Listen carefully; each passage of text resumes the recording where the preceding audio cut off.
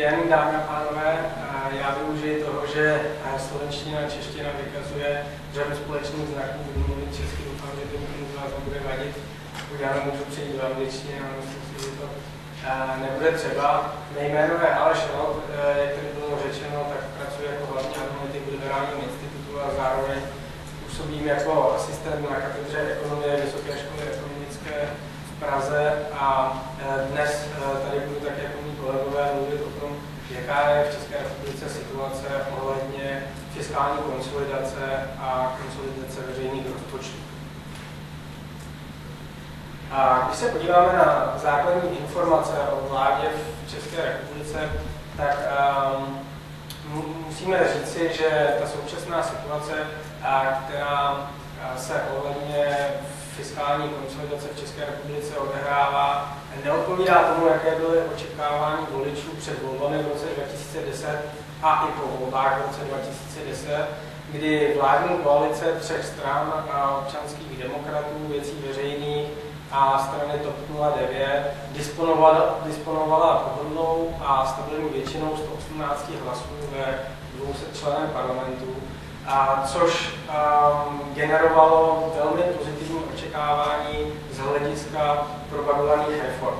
Protože, jak můžete vidět um, v dolních třech řádcích, tak od prvního dne vzniku vlády u sobě um, ta současná koalice tvrdila, že je uh, pravicová, že je rozpočtově odpovědná a že stojí a padá s myšlenkami volného trhu. To znamená, že bude bojovat za minimální stát, že bude chtít škrtat, nikoli zvyšovat ty příjmy státního rozpočtu, potažmo veřejných eh, rozpočtů zvyšováním daňového břemena a v neposlední řadě, že se bude snažit ehm, nechat dýchat eh, zodpovědné ekonomické subjekty, ať už domácnosti nebo firmy, nebude tlačit na jejich přílišnou regulaci, nebude je chtít zdaňovat.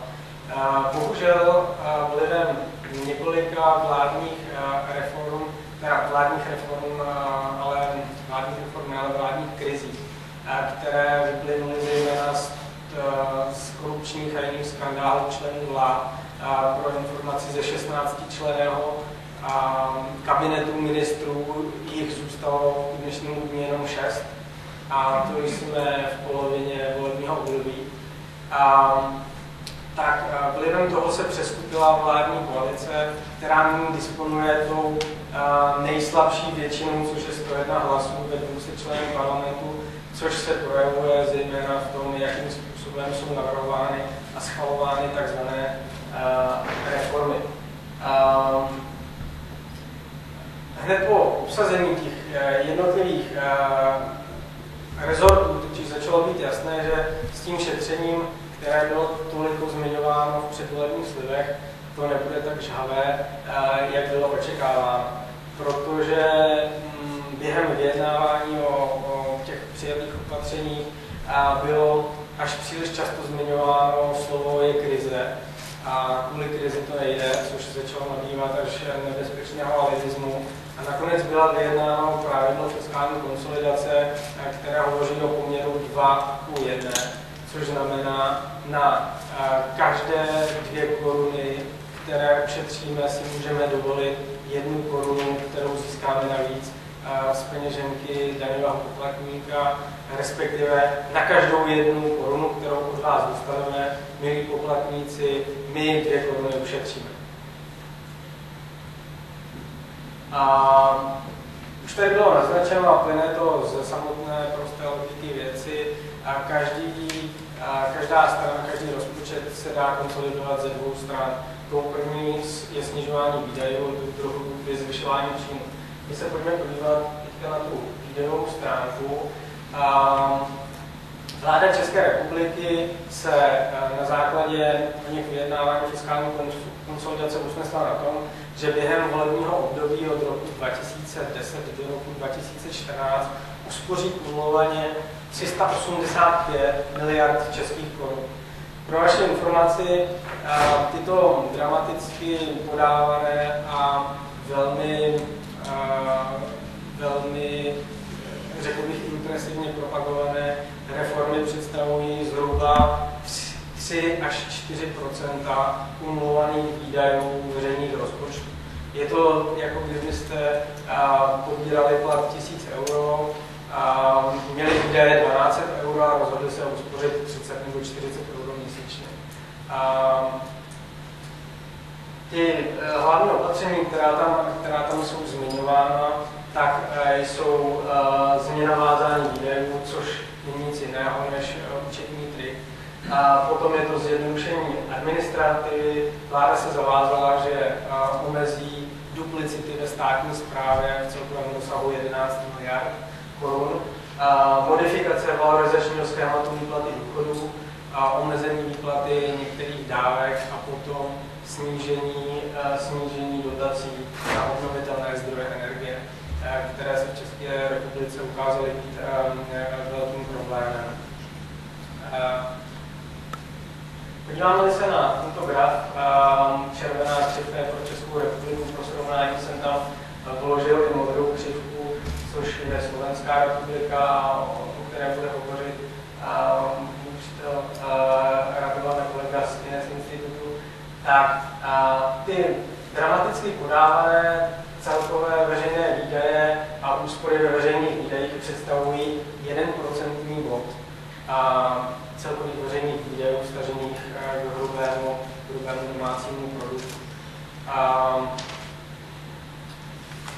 to není nic, čím by se podle mého názoru a podle nikoli názoru ekonoma, ale také voliče měla vláda, která se sama sebe nazývala jako nejradikálnější vláda, která se chystá zatočit s nadbytečnými a spontánně rostoucími výdaji státní zprávy, tak čím se tato vláda měla chlubit. A když se podíváme na tento graf, který je každému jasný a srozumitelný, a to je, a to je, narůstá vládní dluh v České republice, tak tento jediný obrázek hovoří za vše.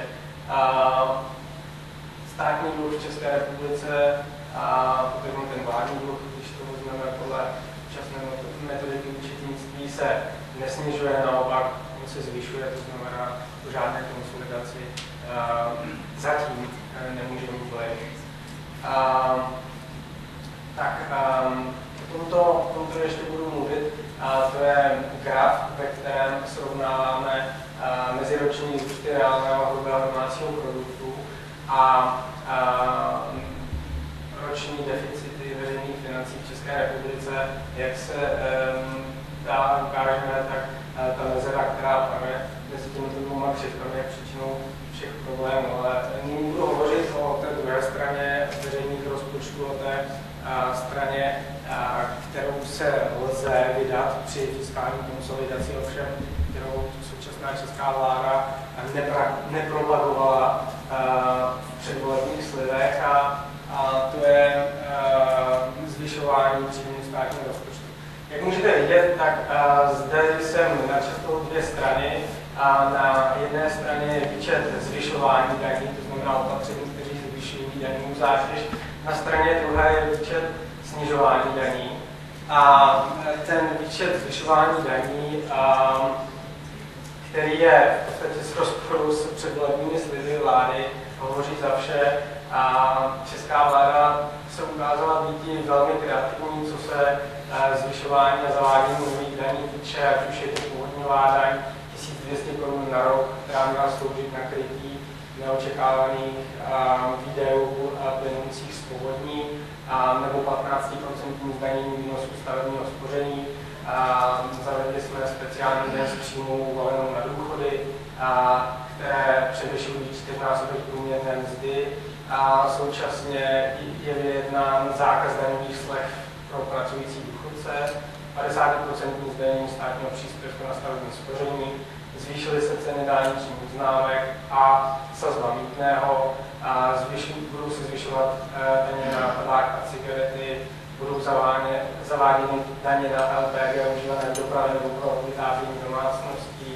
Eh, zvýšila se dolní sazba DPH na 14% odplátnovaly další zvýšení jak dolní, tak horní sazby DPH na 15 21 a to začalo být propagováno poté, co ani nestačilo usunout ingus na, podpisu toho původního zákonu, 32% daň z emisních povolenek, spotřební daň z víně, zrušením slev na daní pro podnikatele, daňová progrese, zrušení stropů pro zdravotní pojištění, zvýšení daní z převodu nemovitostí, zavedení vyšší daně z příjmu fyzických osob a tak dále a tak dále. Mohl bych možná zmínit ještě jeden stejně dlouhý seznam, co se týče výčtu snižování daní, tam bohužel by to bylo velmi, velmi rychle.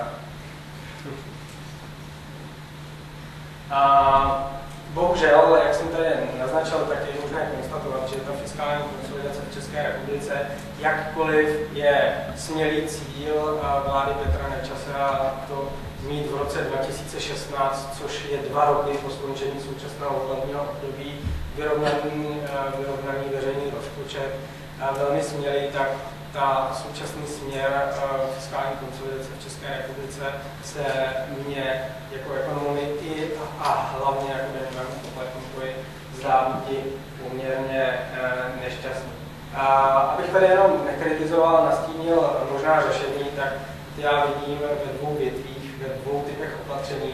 První je často zmiňované zvyšování efektivity státní zprávy, které generuje ohromné množství zbytečných výdajů, ať již je to, um, ať už je to na straně zavádění zbytečných daní a neefektivních daní, tak jako například zvýšení spotřební daně na pohonné hmoty účinné od 1. 1. 2010, od kterého si vláda zvyšovala, od, od kterého si vláda slibovala zvýšení výnosů zhruba o 7 miliard korun. Nakonec se ty výnosy zvýšily o několik jednotek milionů korun, a to, což uh, generovalo nejenom nesplnění očekávání, ale hlavně to, že ve fiskálním roce, který běží vám najednou chybí 7 miliard korun a vy nevíte, co, či, čím je zaplásnou a čím tu zaplnit. A stejná věc se ukázala i u zvýšení spotřební daně na alkohol a a i jsem možná, nebo určitě dozněla nová aféra, která v České republice plnila stránky novin v září letošního roku a, a bojení černého trhu při obchodování s alkoholem je možné a, vysvětlovat jako jeden z příčin příliš vysoké spotřeby, která nedělá nic jiného, než zvyšuje marži subjektům, které se rozhodnou podvádět. A potom je to i eh, daň z přidané hodnoty a její efektivní, respektive neefektivní výběr. Jenom u minerálních olejů, zejména u pohonných hmot, se mluví a přiznává se ministerstvo financí o zhruba 8 až 13 miliardách korun, které se každoročně nedaří celní zprávě vybrat, a to přesto, že máme zhruba 10 krát víc eh, zaměstnanců celní zprávy než sousední Rakousko. A, a v neposlední řadě je to respektování racionálního spotřebitele, a, tak by to um, znělo složitě a jednoduše bych to interpretoval asi jako využívání selského rozumu, protože a, když zvýšíme sazbu spotřební daně u cigaret, ale necháme sazbu spotřební daně u řezaného tabáku používaného k kouření o několik řádů nižší, tak je logické, že racionální spotřebitel si přestane kupovat drahé cigarety, ale začne si kupovat tabák a ty cigarety si bude sám plnit, protože to plnění do těch květinek nepřed, nepředstavuje žádný problém, stejně tak a je to hraná písnička, o které já často mluvím, často ji používám jako příklad, je o zvýšení spotřební daně na pohonné hmoty, které České republice jakožto státu, přes kterého transituje mezinárodní doprava z východu na západ i z severu na jih a obráceně přineslo uh, velké problémy s fiskálního hlediska, protože ty, tam, ty kamiony zkrátka dobře tam přestali tankovat a jenom používají naši dálniční. A uh, druhým typem opatření, o kterých uh, bych rád promluvil, je vytvářet správné bariéry. Já to bych interpretoval tak, jako svažme ruce politiků, nikoli soukromému sektoru. A jelikož nás tlačí čas, tak já zmíním jednu věc, eh, o které jsme mluvili na Národní ekonomické radě vlády, kam dochází do skupiny veřejné finance, a to je zavedení jednoduchého rozpočtového pravidla, jakéhosi autopilotu veřejných financí, který by, zkrátka, který by zkrátka nedovoloval politikům utrácet víc, než, než stanovuje toto pravidlo. A to pravidlo v tom původním návrhu, tak jako se o něm hovořilo, bylo jednoduché. Znělo zhruba takhle. Deficit veřejné, veřejného, veřejného rozpočtu nebo deficit státního rozpočtu rovná se roční růst reálného hrubého domácího produktu minus 3% body. Což znamená, když je růst reálného HDP 4%, rozpočet musí být v 1% přebytku. Když je růst reálného HDP 8%, rozpočet musí být minimálně v 5% přebytku. Když je růst reálného HDP 1%, politici si můžou dovolit maximálně 2% deficit veřejných financí. Pokud se podíváme na mezeru mezi uh, růstem HDP a uh, státním rozpočtem, tak vidíme, uh, zatímco ta červená uh, červené sloupce ukazují skutečnou mezeru mezi těmito hodnotami, a, tak a maximální mezera mezi tím HDP a veřejnou finan... veřejným rozpočtem, státním rozpočtem, pokud by byla nastavená jako 3%, tak by to znamenalo mnohem nižší schodky státního rozpočtu. A když se podíváme na červený sloupec, tak to je skutečný deficit státního rozpočtu v České republice. Zelené sloupce ukazují ten maximální hypotetický deficit po zavedení fiskálního pravidla. Vidíme, že ten deficit krásně kopíruje ekonomický cyklus uh, reálného HDP, eh, jak jej nastavuje ta modrá, modrá linie, protože uh, dovolit si v, v období, kdy reální HDP roste o 4%, 3,6% deficit, tak jako tomu bylo v roce v roce 2000, to je eh, skutečně, eh, to je skutečně opatření nebo věc, kterou si nemůže dovolit žádná domácnost a já nevím, proč by si měl dovolovat zrovna někdo jako stát na úkor daných poplatníků. A děkuji za pozornost, dámy a pánové. Thank you.